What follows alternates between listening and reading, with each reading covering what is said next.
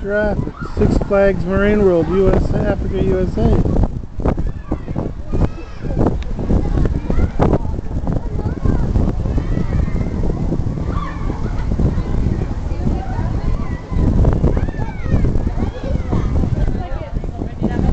It's vegetables and ice.